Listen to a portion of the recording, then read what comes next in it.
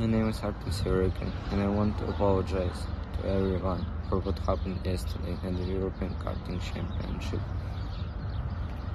Standing on the podium, I made a gesture, and many perceived it as a Nazi salute. This is not true.